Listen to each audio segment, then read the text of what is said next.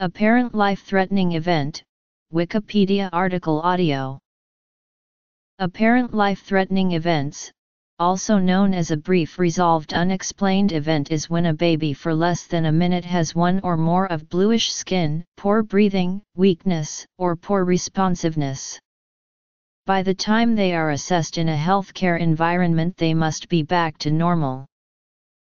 Treatment involves possibly doing an ECG and watching the child for a period of time. Pertussis testing may also be done. Other tests are not typically recommended. Treatment